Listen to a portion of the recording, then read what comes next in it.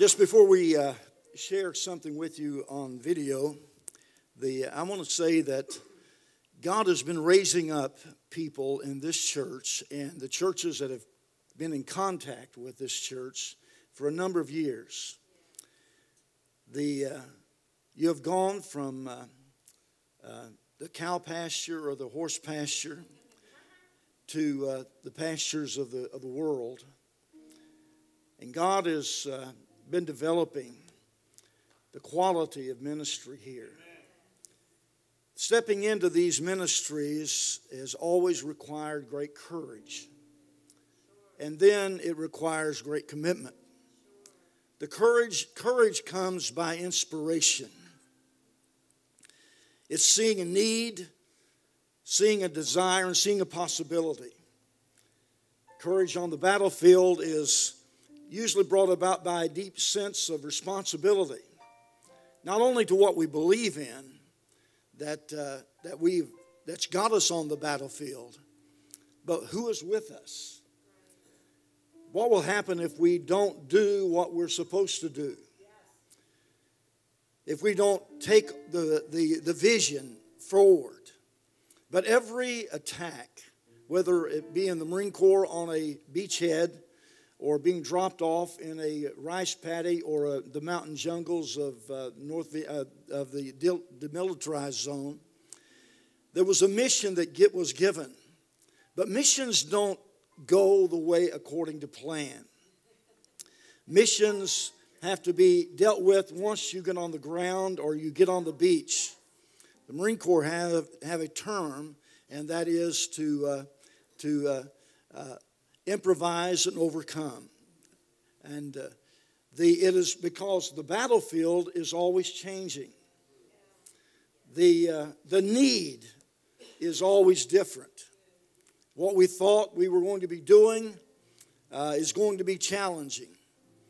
The, uh, one of the uh, great battles of Iwo Jima or uh, Peleliu, which in particular in the Second World War, were battles that uh, we lost an enormous a lot of, um, amount of men, more so than what I'm going to show you here, even at Normandy.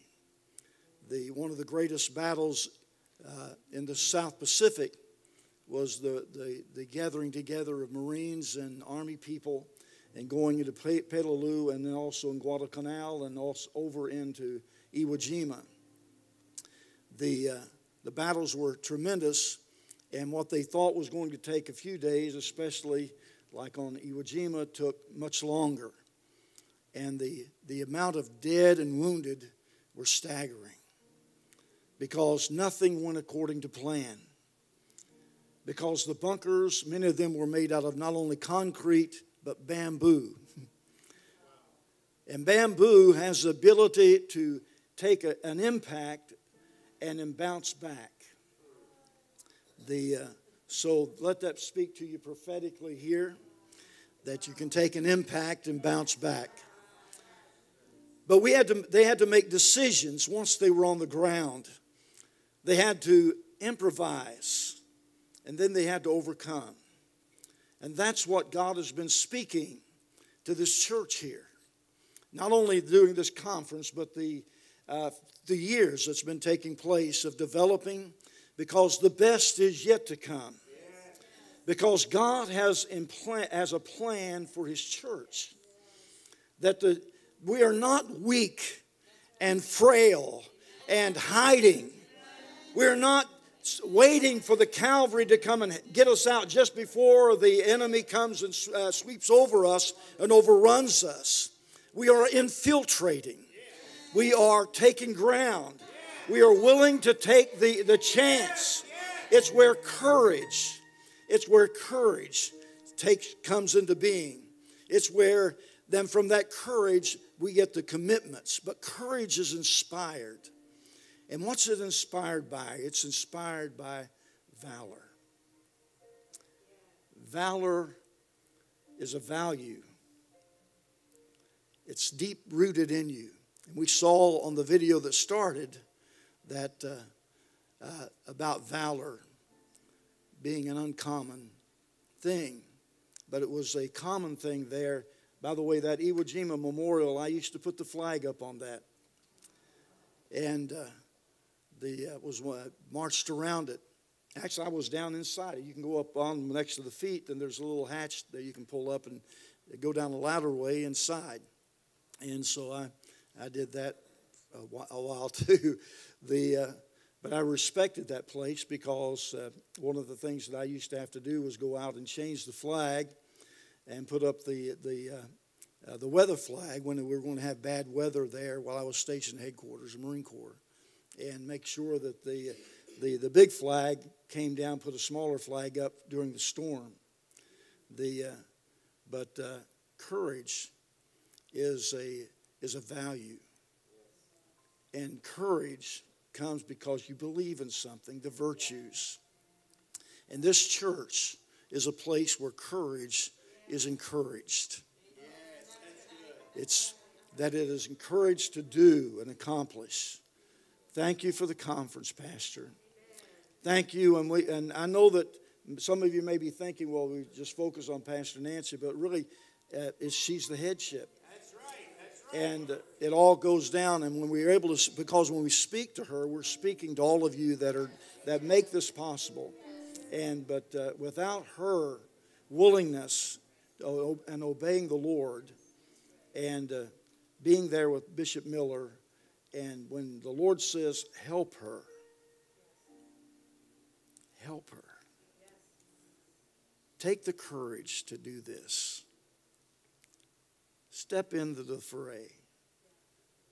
Here's what the Lord says I will make your walls salvation, and I will cause your gates to be pearls, and your walls shall be a flame that burns up the dross, shows the quality of, of what the building is all about.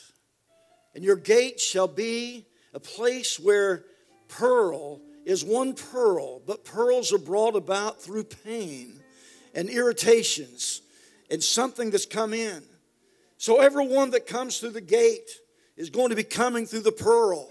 It's going to be the testimony of past decisions, past events, past difficulties, past pains. But it's the pearl of beauty and you come into the walls of salvation, and He's making you that. The pearl is where you get your testimony. Amen. Because that event, that pain says, This is what God has done. Amen. God has done this. You see, people in the past said, You're on a dead end street. You're on a dead end street. But now they're, but you know what? And people that feel like they're coming and they felt like they were in, they were at their wits' end and they were coming to the end of their life. Amen. They came to new life. Amen. Because the old is passing away and the new is arising. I'm telling you the, the prophetic word of the Lord. Amen. The, the old is passing away and the new is coming. Why? Through his church who has unified every individual being placed in the body severally as he wills. Amen. That your gifting is not for your glory, but for the glory of God. That your gifting is for the benefit of the body. Your gifting is so the world can see the glory of the Lord. Amen. Is that reality? Amen. And courage. Courage is encouraged in this place step up and say something for the Lord. Amen. I love that. Amen. You don't have a word for Jesus. Amen. Step out of your intimidations and your fears. Press on to the beachhead. Improvise and overcome when it's been when things have changed and it hasn't gone the way you wanted it to. Amen. You adjust to the battlefield, but the vision stays the same. The mission has to be carried out. Amen. And you have to go on. And there's a few times when it looks as though that we are not doing as well. And we'll see just a moment when uh, what warfares can do and monuments can do warfare that it reveals something about us. Monuments are to touch our memory, to not only to recollect, but to reconnect. To reconnect. If you'll show that if just for a moment.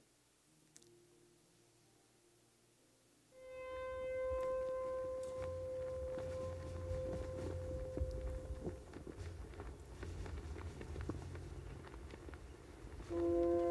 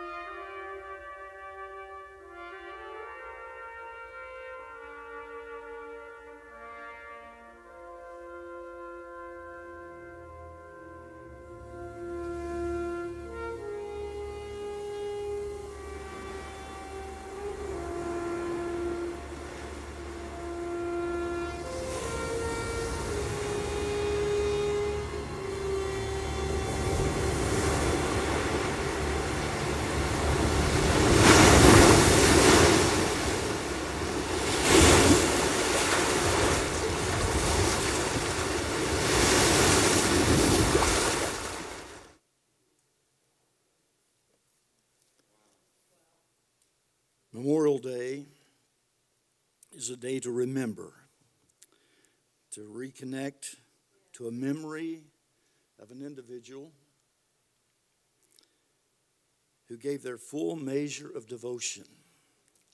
That word, full measure of devotion, was first penned into the memory of this country just a few miles from here. It's part of the Gettysburg Address. It's down toward the bottom.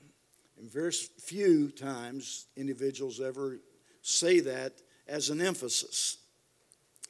But it is, they gave their full measure of devotion. Now, Abraham Lincoln said a few things that uh, uh, he thought that what they said that day would probably not be remembered very long. But it has. And his, his message only lasted two minutes. the uh, just a few words, but they gave their full measure of devotion. This little video was the, the introduction to uh, Saving Private Ryan. The, uh, uh, my wife has never seen it. She refuses to go see it. And uh, truthfully, I don't know if I could watch it again.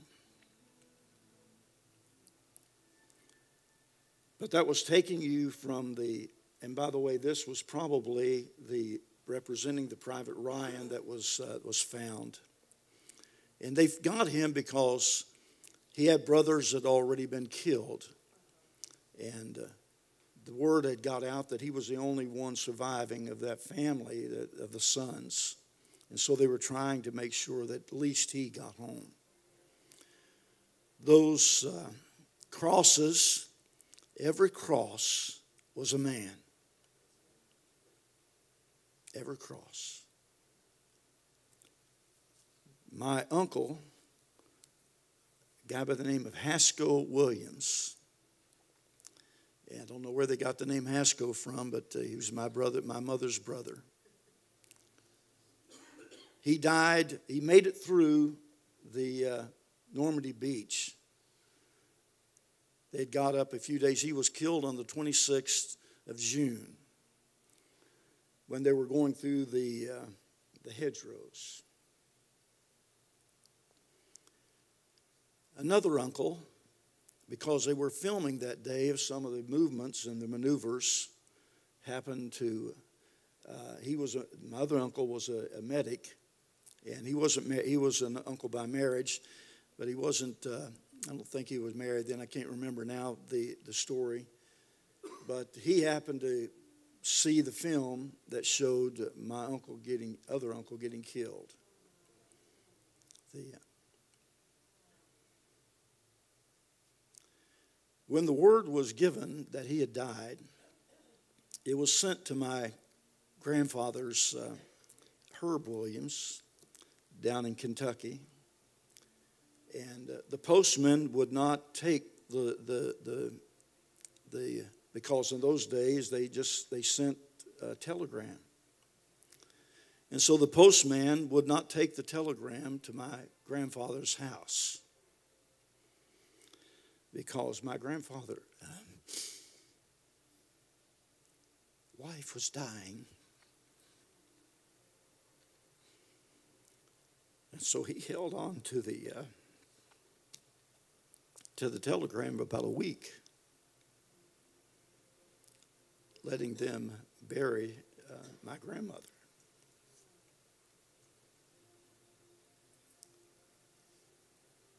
sorrow of loss can be devastating. But the knowledge of courage can be inspiring.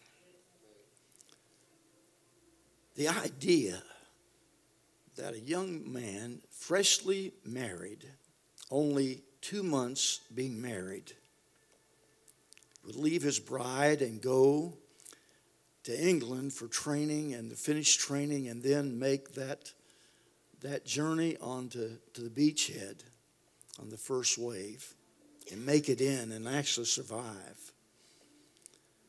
And then a few days later to give up his life. And then his little wife, who only had just a, a, a little while with, with her husband.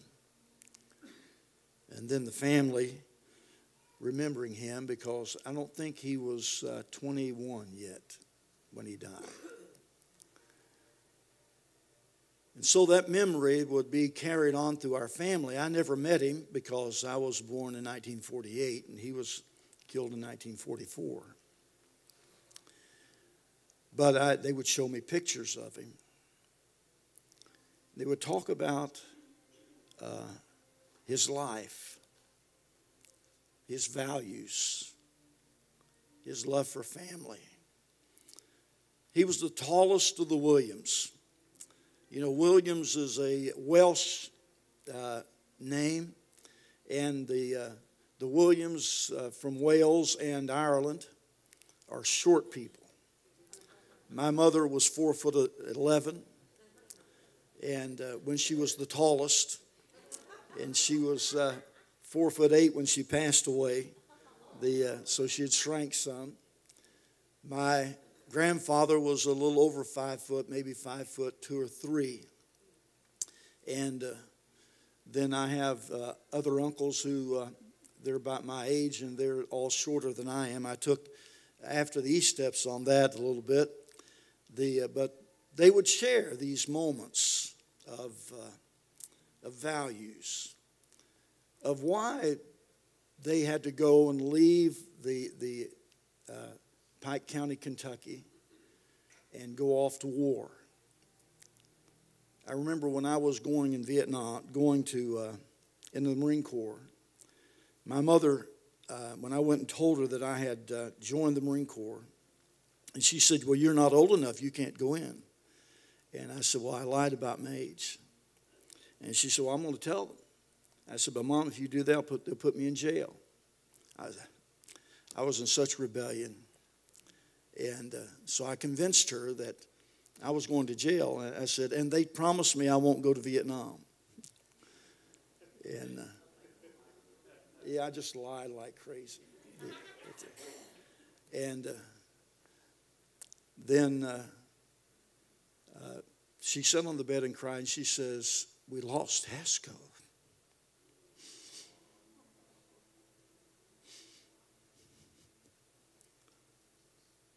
What if you don't make it back?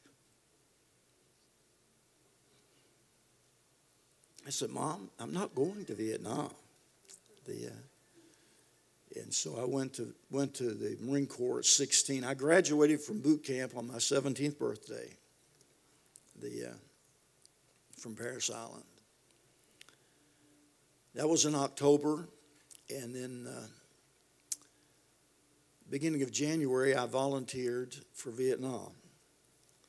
And uh, so I went home, and mom said, I thought they said that they, you won't have to go. And I said, Well, I ended up volunteering.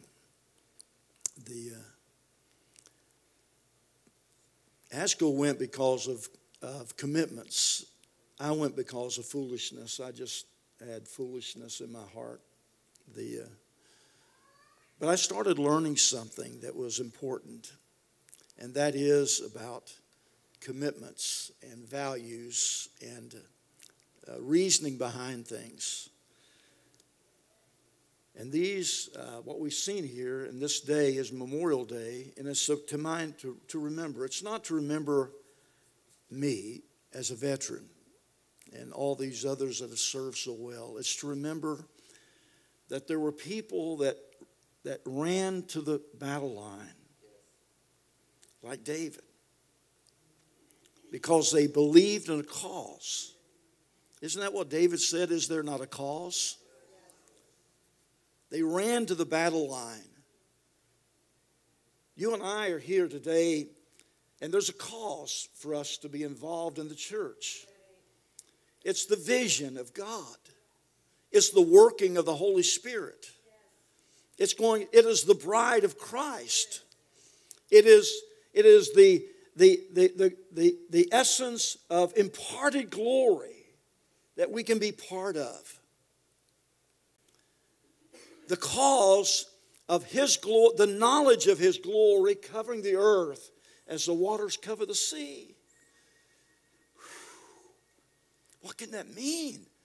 That means on a dead end street and people running out of time and running out of life and running out of options. And there's a light that comes shining up from this dead end street that says, This is for the world.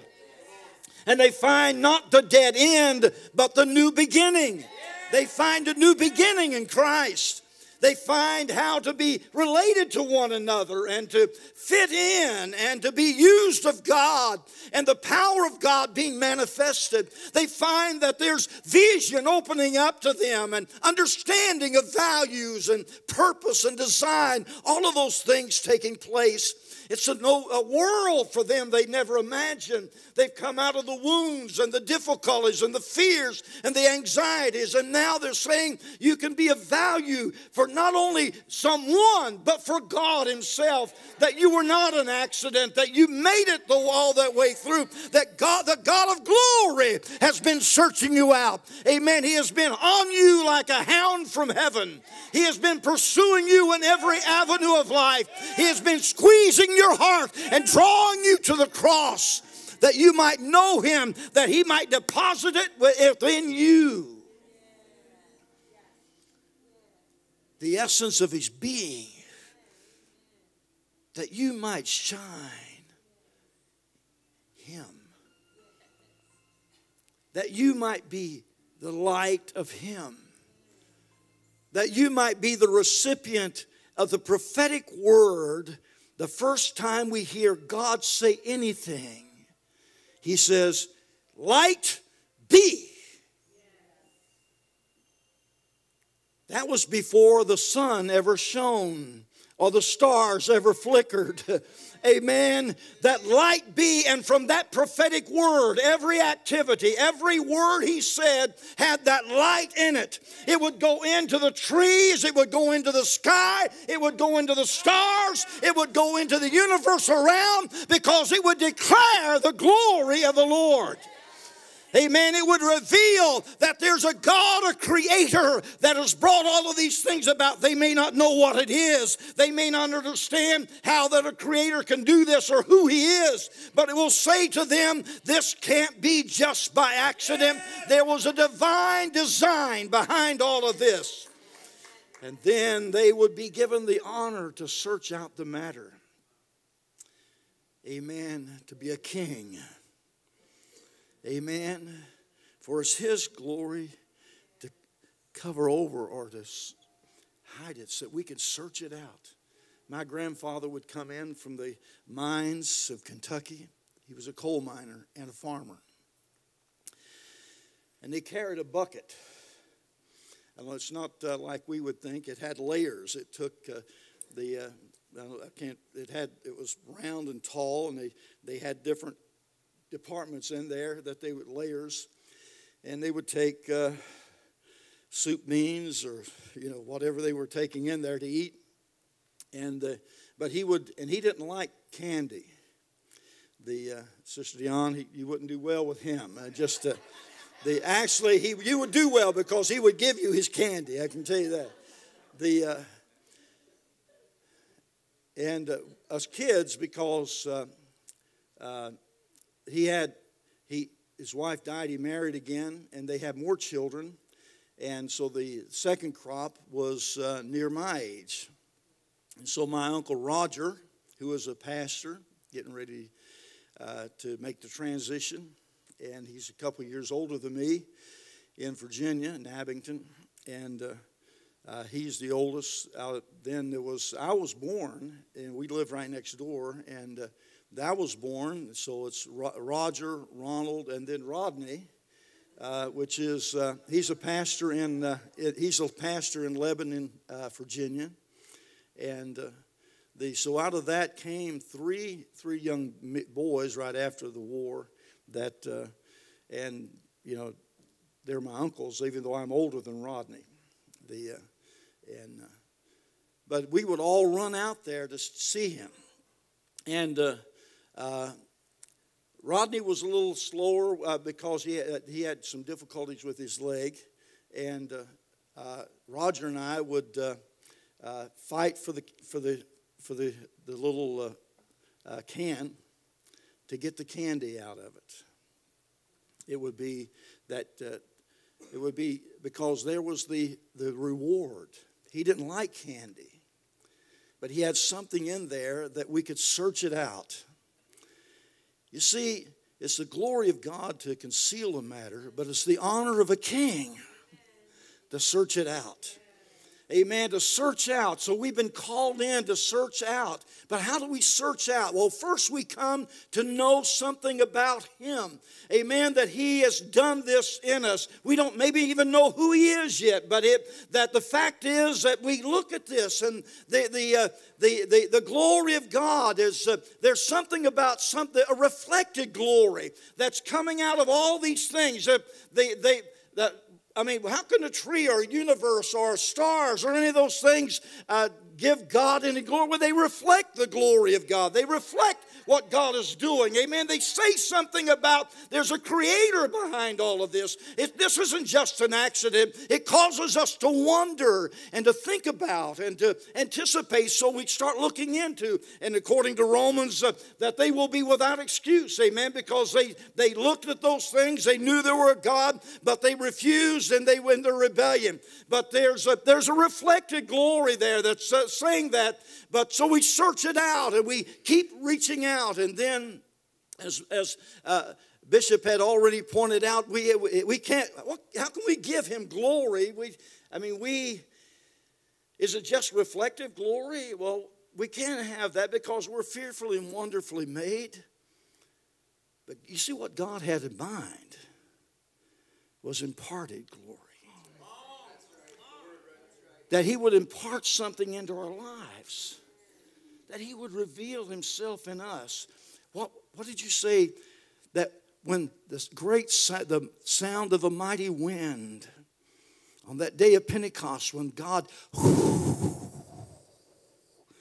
moved in and deposited within this new birth relationship amen, this new beginning, he put the deposit because it's a new creation was taking place. A new creation took place. The old creation was done, being done away with. The new creation is now. So the same thing amen, uh, that, that God had done in the beginning with Adam when he breathed into him and he became a living soul. Amen. We, he became there is a becoming, amen. There is a becoming in God that we become something. And what are we becoming? We're becoming not just a reflection of Him, we're becoming one in Him. The life that I now live, I live by the faith of the Son of God. It is no longer I that lives, but Christ that lives within. Amen. That Christ would be within me, that Christ would be within us that the more that we would get together, amen, my gifting is not the fullness of Christ. It is only a little element. It's like the little lights that they had coming up. It reminded me of the Philippines. We, they always did the uh, cultural dancing with these lights, and, and, uh, and they would come out and uh, just dance around. I always loved that. But I saw that, and there are globes of light. And so my little light is so small. Amen. Because my gifting away from the body of Christ, away from everyone, it's so small. Amen. It's uh, it, but it could be so much more if I could just get it plugged in to where it's supposed to be. Amen. The light gets brighter. Amen. So the body of Christ is coming together. Oh, I tell you, it's a wonderful thing. What is that? Well, that's Him. That's Him. Because John said that he was the light. And Jesus says, You're the light. Amen. Not another light. Not another light. And you know what that says to me? It says to me that God's will for His church and for us is going to be done openly. Amen. Everybody's going to see it. Amen. Everyone's going to see it. When he comes, he's coming in power and great glory. But they're going to see it before the second coming. And they're going to see it in the church. Because the church is coming in to understand who they are and what they're supposed to be doing. It is that understanding that who we are in Christ not in ourselves, not in our arrogant bragging about ourselves, but it's going to be in the who He is. Amen. That He is seen and revealed and, and, and made present in every activity that we have. That it's not enough that we gather together and sing a few songs or something. We must have the presence of God. Amen. We must have this presence. There has to be this manifestation of His glory being manifested through His redeemed. Amen. That they have become vessels where He can live in. He has been deposited. Amen. They have been deposited with God. The Eastern Church has a saying, and I'm almost afraid to say it sometimes because it can bring confusion to some folk. It's called theosis. And theosis uh, means that we're becoming God like. We're not becoming God, He's still the sovereign over all. But if it's no longer I that lives, if I'm not living and Christ is living within, and the life that I now live in the flesh, I live by the faith of the Son of God. Faith is reaching out in the vastness of nothing and taking hold of that which is not and holding on till it becomes that which is. Amen. It's taking a hold and bringing forth and uh, bringing into reality. Amen. It's that therefore I'm living by the faith of the Son of God. Amen. The faith that says, I, will, I am willing to set aside the splendor of heaven's glory, and I am willing to condescend down into the womb of a virgin, and I'm willing to let that virgin bring me forth from her womb, and I'm willing to be uh, uh, suck on her breast and have them uh, clean, clean me and then provide for me. But I'm the King of glory. I'm not only going to come down to the lowest place and the, the backwoods place or the dead end street. I'm going to go down into the very essence of humanity, where a people that were not called a people hardly at all. Amen. In the backwoods of a far off country, in the very essence of, uh, uh of a cave or a, a, stable. I'm going in there where the stink of, uh, of animals are. I'm going in there where the difficulties of living is. I'm going in there where, they, where there's fear and anxiety, and their heads are under, their neck is under the boot of, people, of a, an oppressive people. And I'm going in there and I'm going to reveal my glory. And I'm going to walk among them. And I'm going to see their need. And I'm going to be touched by the feelings of their infirmities. I'm going to walk in them and reveal my glory in them. I'm going to go and wherever the Father is saying, I, he, because He said, I can do nothing except the Father tell me. So when He's walking and He's looking around and they're bringing dead people by and they've got a, a, widow and they're bearing the son, the Father says, uh, I'm raising that person up. And Jesus goes over and says, Live. Amen. Amen. Uh, he goes in for they're hungry and He says, Well, the Father says, uh, I'm going to feed them today. So He says to them, Go out and how we're going to feed them. They said, We don't have enough. He said, Well, bring it to, oh, well, we got a, a young guy here, a little boy with some fish and loaves. Uh, bring him to me. Amen. So he blesses it and uh, he, he it to the Lord and he, he gives praises God and he, he blesses it. And then he just keeps reaching into the basket.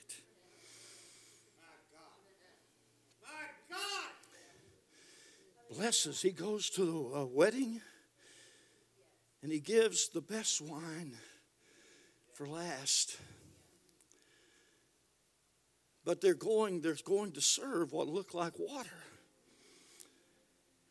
But from the jar comes the wine. I'm telling you about what God does in bringing His church into being. This theme has been talking about the glory we saw something today about memorials, memory, and reconnecting to remember. We remember names of those who have gone by, but we also reconnect to their values. We have memorials within the church. We need them. One of the things I love about Oasis is that you're reaching out to the vastness in so many different directions, and but you're willing to keep a connection to all that's been past. You're not trying to wipe it away as if it never existed, so we can make a name for ourselves in this time. That you're using them as stepping stones into what's up. Because let me tell you something that legacy is currency. Your legacy is your currency.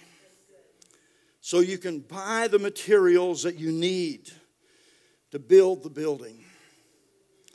So some will only have hay, wood, and stubble, and they will suffer loss.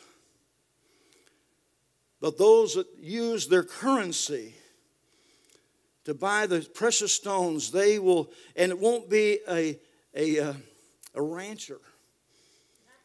It's going to be a skyscraper going into the heavens because we're on one foundation. One foundation. We get that through these values that get infused into our life. Amen. That get displayed as they as we saw them getting ready to run to the battle line, and as this church has run to the battle line over and over again. Now, let me say this, and I won't keep long because uh, there, we, you got someone else coming, and uh, going to cap it all off for us. No nation can ever rise above the values of its citizens' devotion.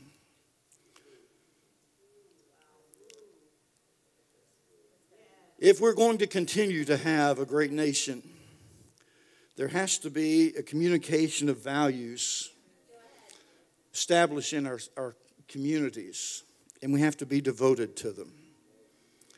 No nation can rise above the values of its citizens' devotions. It, it, there has to be that devotion there. Values are seeds of character. They are deposits that have to go down into the depths of our soul and our being. It's where seeds germinate, it's in the hidden areas, the dark areas. But they are going down because they're going to bring about character. Character is the product of tested insights Hear me. Character is the product of tested insights. We say we believe something, but if it's not tested, amen, it's just a, a, a thought, uh, a possibility. Those are wonderful things to get, but when they become reality within us through test, it has to be put to the test. So, what happens? we get confronted with evil and difficulty and wars and rumors of wars and famines and darkness and violence and all those things crashing in around us. And the, the first thing we do, the enemy wants us to do, is fear, cower away, be filled with anxiety. I remember one of the first intense battles that we had in the northern part of Vietnam when I was there. And we had, we had had a, uh, they flew me in by helicopter and landed us into the mountains of, uh, the, the North Vietnam was right there, and we were at the demilitarized zone, and they dropped us off in the high mountain areas near a place called Mutter's Ridge. And uh, the, uh, it's about three miles south of the DMZ. The, there was plenty of jungle vegetation, but they had a field that was a, a rolling hill and it was filled with a, uh, elephant grass. And as the helicopters came in and hoovered over, uh, we couldn't make full landing because we were getting some hits. But the, we jumped out. And I remember when I jumped out thinking the ground was closer than it was because the, the elephant grass was blowing in, the, in the, the wind of the helicopters. And I jumped out, and uh, it seemed like I just went way too far. And when I hit, uh, it hurt. And so I rolled around, and then we had to get into position uh, because of, of, of, combat. And then we had the others that were coming in by, by uh, landing barge and uh, uh, hitting, and they got ab- aboard uh, deuce and a halfs or trucks, and they brought them out there. And that's where we first set up the first, our fire base there south of the, of the DMZ. The, but it is, and so the first intense battle that we had was that we're getting artillery and uh, mortar rounds from the DMZ, and they was just it was it, they they knew where our hill was, and they just were hitting us so close. Mean, it was so close, everything was just exploding. And I was in a mortar section, the 81 millimeter mortar section, and so our job was to get out on the gun. But man, the, it was so intense, we jumped for the hole. Amen. We jumped for a hole. And I remember a major coming across there. He was Polish and uh, uh, the, we called him the Mad Pollock.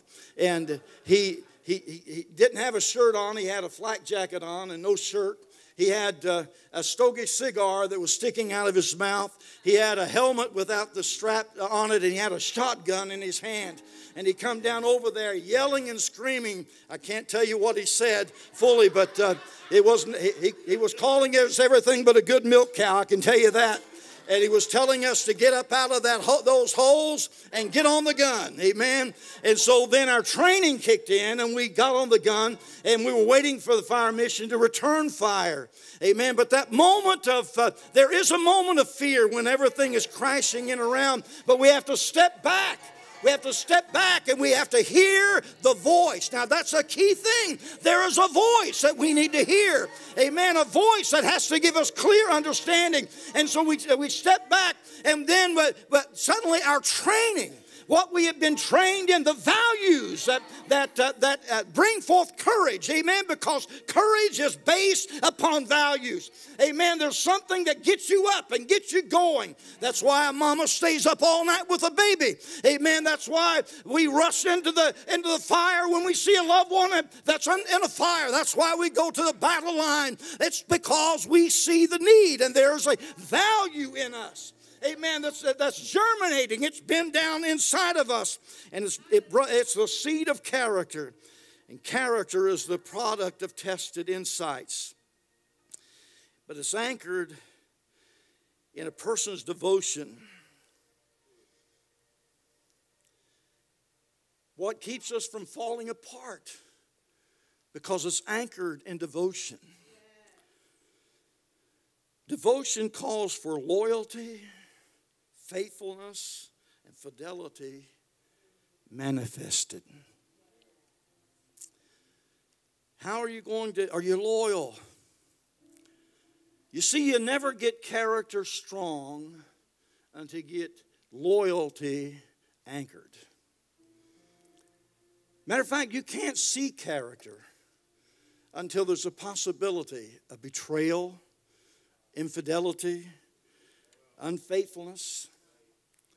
It's only when character only comes in. You see, character isn't something we wish for.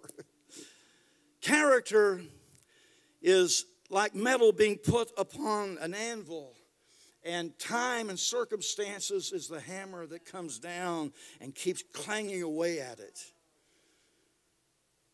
But if you get that metal and put it to the fire, there is something happening, Bishop.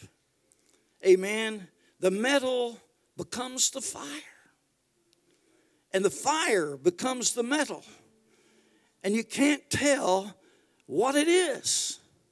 Is it the metal or is it the fire? And in the fire and the metal together, the circumstances that hit that makes sharp metal. A man makes mighty swords, makes instruments of warfare makes instruments of healing. Amen. Makes all these things that can become beneficial to us, but it has to come through this difficulty. Amen. So character isn't a wish into being. We can't just wish for a character. Amen. Wish that we were a better character. I, I remember as a young man thinking, I wish I was better at this. Amen. But it wasn't in me. I told my wife we got married, we weren't saved, but I got saved about two weeks later. Now she says she drove me to my knees. But the, the, uh, uh, that wasn't true. Amen. The uh, God had been after me a long time. Matter of fact, uh, he had his hook in, his, in my jaw for a while, and his, you know my testimony that of a young man prophesying to me in, in Vietnam, and uh, the uh, but it is it is this coming. You see, I told her I said we we would have never made it unless Jesus came in because I was just such an unfaithful person. I just went by the seat of my breeches and everything, just uh, whatever was happening, and had didn't have enough character to say no to nonsense. Just run right into it and do stupid things. So the first thing had to get me into this essence of loyalty, being loyal. I remember one of the first things I did because I understood it now as I got saved, and I thought, Lord, how can I how can I get stronger than you. And uh, I was stationed at headquarters of the Marine Corps at the time.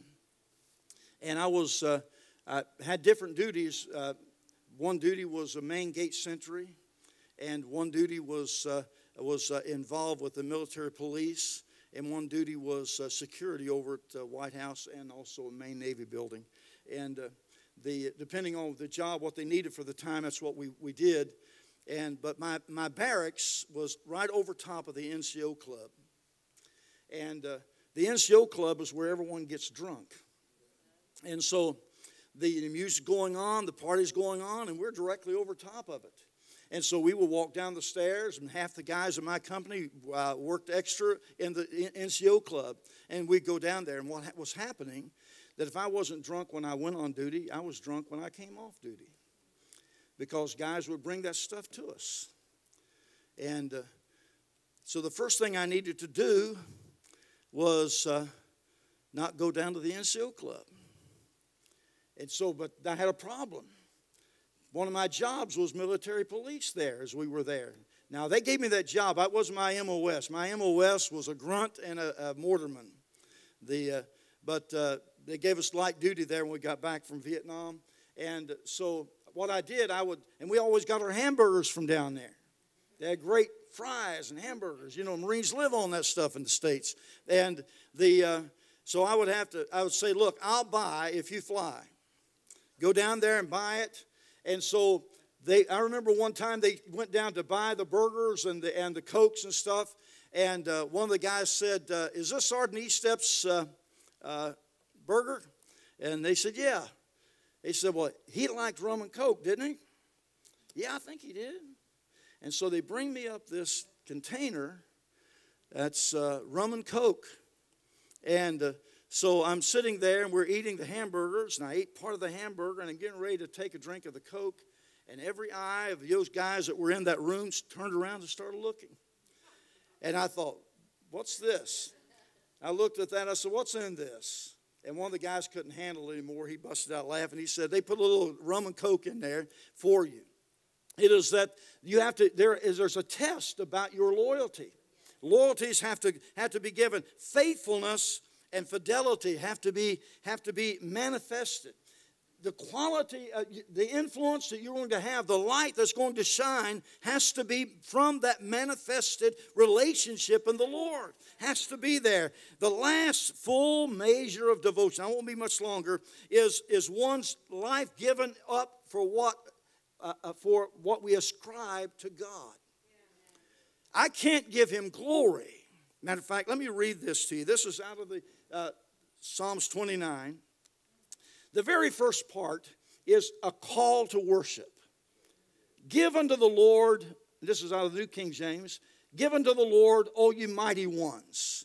That word mighty ones is uh, actually El Ben, Bene, or El Ben, and you know that El is for God and Ben is for son.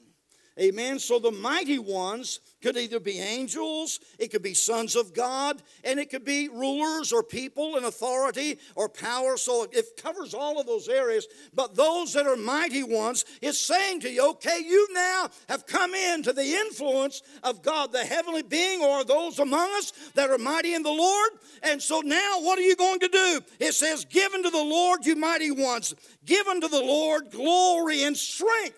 But if we can't give him glory because we don't have that, amen, what are we going to do? Well, if you look at the word, it also means ascribe to the Lord.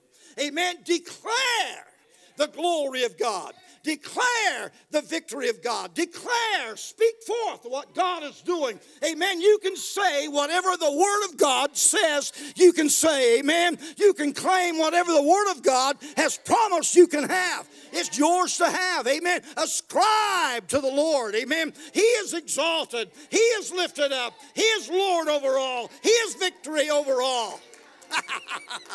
Amen. Give the Lord praise. Amen. And then it says, Given to the Lord the glory due his name. Amen. Don't take the glory yourself. Amen. This glory is due his name. Worship the Lord in the beauty of holiness. worship. Now, I'm going to tell you something. Worship is what God is looking for. Amen. But not just any kind of worship. Worship in spirit and in truth. So united in God that there is this, this essence of light and life coming out of you, worshiping. But it says in, in, in, in beauty of holiness. Beauty is the is if you look up the word, it talks about the uh, what's putting on. It's uh, it's uh, the trappings. It is the, uh, uh, the the the coverings. It is the relationship. So if we're covered in God, if we're robed in His righteousness, if we're walking in His grace, amen, we're, we're, we're, we're we got dressed up in it, amen, and we're, we're doing it for the greater glory. It's for, it's not just to get by or to give Him uh, anything, amen. I showed up, I sang a song, I gave a testimony. No, I've got to get robed up in Him. I've got to get clothed in Him. I've got to be manifested in Him. His presence must be in my life and over my life and through my life. Amen. Where He is revealed. It's that power and that is the beauty. And then holiness unto Him alone. Sanctified, set apart. I'm not the world's uh, in the world's value anymore, and I'm not going the way the world wants. I'm not giving in to the flesh, the world, of the devil. Amen. It's to Him. My life belongs to Him. As I said, that this light that we, have, this life that we have in the Lord and light, is uh, God, and God is going to defeat the enemies around us openly. It's not going to be in the darkness. As a matter of fact, the darkness is going to help everyone see this. And from that worship comes a and this acknowledgement of him and this acclaim to him amen uh, we hear a voice it's in worship that we hear god the uh, john stott said when he one of his books he said i'm never more alive than in public worship. Now, some would say, well, you know, just, what is that? Just because your gift and our gift together and all of our gifts together is bringing up this magnificent praise and adoration to God. And if that's the case, then my life is hidden God. Amen. My life is in Him. And so the more I'm having, if I can get you and we, I can uh, uh, unify with you and their giftings and all this is in place, suddenly there is the life of God. Amen. Because God put that breath in to replicate Himself. Amen. To give birth unto Him, to, to bring us into the family of God, to make us of the house of God. Amen. The house, like the house of Estep, has a few things, but the house of God has everything. Amen. That I'm part of the, the lineage of Him, I'm part of the plan, the promise of God. Amen. So therefore, I hear a voice. Now, what is that voice saying? Well, uh, the voice of the Lord is over the waters. The God of glory thunders. The voice of the Lord is powerful. The voice of the Lord is full of majesty. Amen. The word of the Lord, the word of the Lord is over all these things. The word, you what can you do? You do it by the word of the Lord. Amen. You, your life is hid in Him. Amen. The voice that spoke out and said, Light be. Amen. And then the, the light came and was uh, housed in human flesh and was the light of the world. And now He's deposited, oh, glory to God, in us. Amen. The voice of the Lord, the word of the Lord. That's why you can do what God says you could do. That's why you can be who you are because the great I am says who you are. Amen. It's a song. We sing all of that's the reality of it. Amen. And then it's because it's over the waters. Waters, to me, represent creation, chaos, and nations. Those are the three major categories of water throughout Scripture. That there is creation, there is chaos, and there's nations. The nations are going to come from the waters. Amen. Uh, so this this coming out, the voice of the Lord is powerful over these waters. The voice of the Lord is full of majesty over these waters. Over the need of the hour of creativity, inventions, and ex- expounding the gospel and getting it out and the life living and how to live in peace and how to, how to have a, a more healthy society and produce more food and all of those things. He's there. Verse 5 The voice of the Lord breaks the cedars. And here's really the nations here. Yes, the Lord splinters the cedars of Lebanon. He makes also uh, makes them also skip like a calf. Lebanon, Sirion, uh, like a young wild ox. The voice of the Lord divides the flames of fire. And then, verse 8, the voice of the Lord. Now, this is over nations, over creation, nations, and now, how about these howling wildernesses where the enemy has ruled and reigned? Amen. Where the demons are thick and flourishing. And suddenly we hear something, the voice of the Lord shakes the wilderness.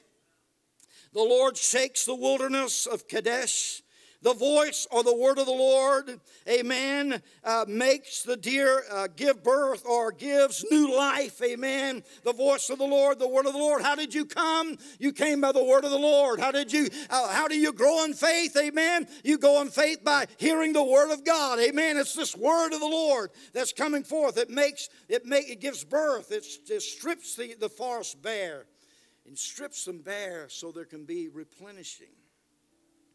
Amen. It uncovers, sets the stage for renewal. Testimonies this week said about the uncovering of our need. Amen. Some willing to confront us, to let us see where we're at. Say we need to make sure that we get renewed. So there's first the uncovering. Amen. We want to cover it over, but if there's an uncovering, suddenly we see that and we cry out unto God. Amen. We reach out for the voice of the Lord, the, the, the, the word of the Lord to touch us, minister to us. So it sets renewal. And in his temple, everyone, everyone, amen, says glory. Palace, place, temple was the, what the word means there. And I want to just give you this here, and I'll, I'll try to get out of the way. The Lord sat enthroned at the flood. He's, he's reigning, He's enabling, He acts. He sits enthroned at the flood. He reigns even in the flood. He sits enthroned at the flood. He enables us even in the flood. he acts for us and through us even in the flood. And the Lord sits as king forever. the Lord will give strength to his people. The Lord will bless his people with peace. Amen. That's just not the absence of war. That's the tranquility of life. It's when we're at ease with one another. The barriers go down, the wounds. You see, the monuments that we saw, those crosses, to some, every monument was a, was a seed of resentment and anger at the people they fought against.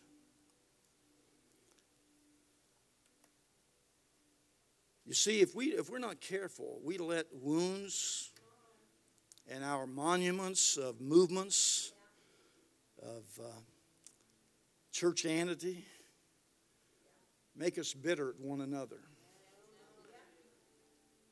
make us stiff arm one another, distance from one another. Always investigating one another. But those monuments are also places to remember virtue, valor, courage. And it's in this process of peace that these things get moved away. I was talking to Ron Bishop the other night, and uh, I know when you hear his name, you think about me, Bishop Ron, but it's Ron Bishop the other way. The uh, Amen. The uh, but he was wanting to go when he first went to South Africa, and he was talking to uh, uh, David du Plessis. And uh, is that right? That he was from South Africa was David. And du Plessis and Duplantis, I get them mixed up sometimes. Yep, du Plessis. And David, uh, Brother du Plessis was uh, an instrument in reaching beyond barriers. The, uh, he was able to minister in circles way before the time of reaching, going over these barriers. And they, many places, uh, just would really ridicule him. But Ron asked him, says, uh, Brother du Plessis, how do I uh, how can I get to the Zulu people and have a, an effective voice among the Zulu people of South Africa? And he looked at him in his uh, accent of South Africa, and he says, My brother, the first thing you have to do is get rid of the war in your spirit. Get rid of the war in your spirit. And Ron says, I didn't know I had any war. And, but it was to calm and recognize the value of what God was doing, the value of people. You must see them as God sees them. You must see them as whom God is raising up to greatness and glory, the great plan that He has. And we know, and I'm sure uh, Apostle David will tell you, that right now, from the African continent, there are more missionaries going out and re evangelizing much of Europe, America, and Australia and the world. It is happening. Those that have been discipled now are coming to disciple.